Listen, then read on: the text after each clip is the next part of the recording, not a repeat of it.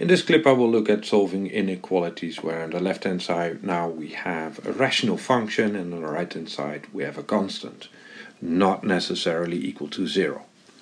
Well, consider the following example. Find all x's in R such that x plus 1 times x minus 2 divided by divided by x minus 1 times x plus 2 is larger than 1. So we have as a numerator quadratic function, denominator is, is a quadratic function, and we try to solve this inequality, strict inequality. Well, as a solution, we proceed as follows. We bring the 1 on the right hand side to the left. So as a solution,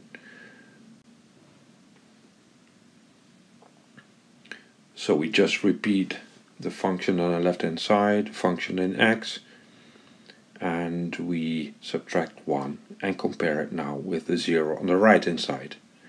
Well, this is equivalent with the following.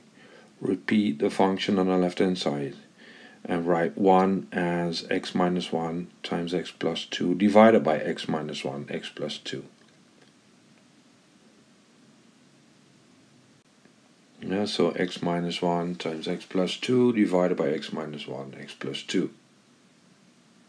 The reason why we do this is that we now may write it as a fraction and we get a rational function on the left hand side and compare it with 0 and we may proceed in the same way as in, in the former clip. So now we get x plus 1 times x minus 2 minus x minus 1 times x plus 2 divided by the denominator x minus 1 x plus 2 and compare it with 0. Well something beautiful goes on in the numerator since there's some terms cancelling if we just write out these terms like like so x squared minus x minus 2 minus x squared plus x minus 2 and we divide it by x minus 1 times x plus 2 and compare it with the 0 like so. Now then we see that actually the two quadratic terms cancel. Yeah, in the numerator we see that x squared and we subtract minus uh, we subtract x squared. And we have minus 2 minus minus 2 so actually the minus 2 cancels against minus minus 2 so the thing that is remaining as a numerator is minus 2 times x. Yeah, so we write minus 2 times x divided by x minus 1 times x plus 2.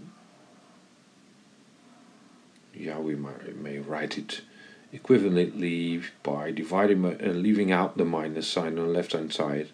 Then we get 2x divided by x minus 1 x plus 2 should be smaller than 0. Now we proceed in the same way as before by putting up a sign scheme for numerator denominator and the fraction as a whole as a result of that. So for the numerator, we see that numerator cancels at x equals 0. So the numerator cancels at 0, so put a straight line at the 0. And on the left hand side we see a minus sign, on the right hand side we see a positive sign. The denominator like before cancels at minus 1 a dashed line since uh, or minus 2 the dashed line indicates that this, these can never be a solution since the fraction does not exist for those values minus 2 and 1 and we get the signs plus minus plus over there. And so we get as a fraction the following sign scheme. We get a 0 at 0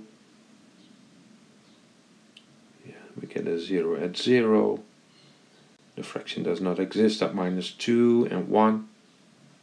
Dashed lines over there.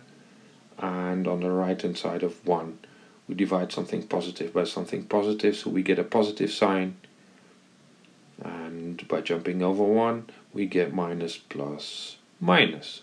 Yeah so alternating series of minus and pluses. So we are concerned with negative values of the fraction. So we look at things that are smaller than minus 2 and on the interval 0 1 we also find eligible candidates for x. Now d0 is excluded since we're looking at strictly smaller than 0. So as a final solution we find x is in the interval minus infinity minus 2, minus 2 excluded, union open interval 0, 1.